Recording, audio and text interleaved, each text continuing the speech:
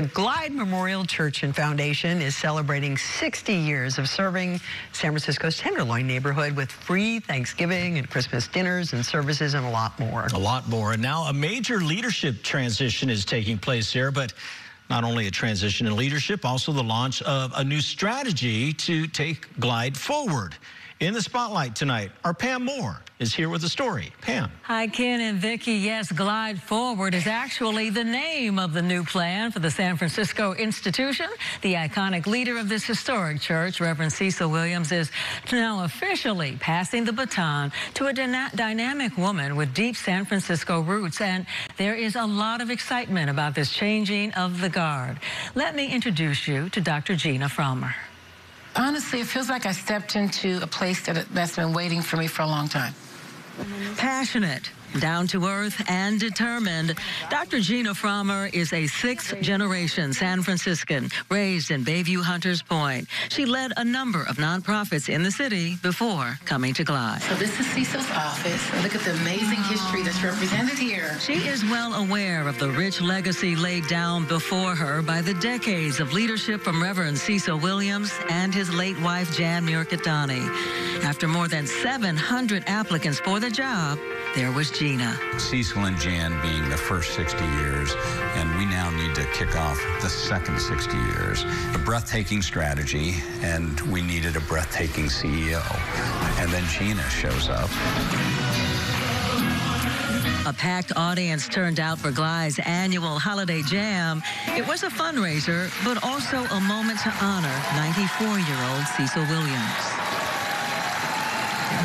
I want to of keeping on and moving forward and making things happen is for us to never forget where we came from. And that is to be the roots of the community.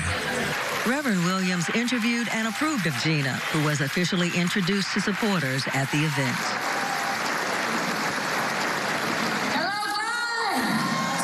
For Glide. For him to hand this off to someone like Gina, she's going to knock it out of the park. Glide deserves this. Cecil deserves this. The city deserves this. And I feel really, really charged up about it. In addition to her job experience, Gina brings something else to Glide. Many years ago, as a young mother trying to make ends meet, she turned to Glide for help. As a young mother, I got on a bus from Bayview, caught three, probably four buses. You know, we had a special Thanksgiving. So I came back again the following year. That's what Glide was for me. It was a safety net for me and my family when I needed it the most in those dark times. I'm just one generation out of poverty, Pam. I want every family to know that they can come and get that, that safety net in that moment that you need it. Because I didn't need it. Three years after that, I was working and I was going to school and I, I didn't feel like I didn't need it. But somebody, another family took my spot. Now, Gina is busy learning about her new job, her clients, and everything she can about this historic church. Well, Glide for the last 60 years has focused pretty much exclusively on the tenderloin. The pandemic has increased the number of food insecure and homeless people in San Francisco, and they can now be found across the entire city.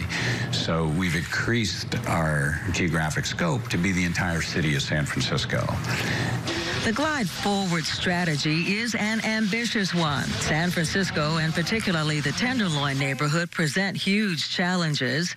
Glide's $32 million budget will be put to the test. The new plans call for expanding services beyond the Tenderloin, more health services, mobile clinics, additional kitchen locations, extended family services, outreach, and more.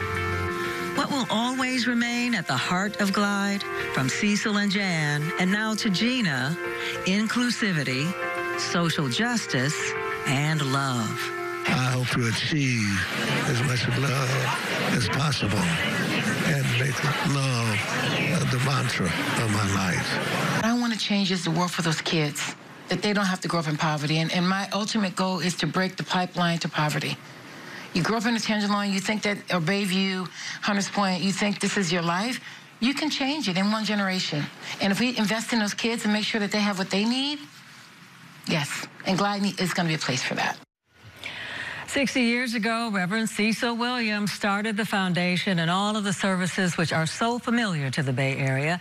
And in light of all of his life's work and service for fighting social justice and holding up the community, there is an effort underway now to get him recognized with a Presidential Medal of Freedom. You can reach out to Glide if you would like more information on that effort.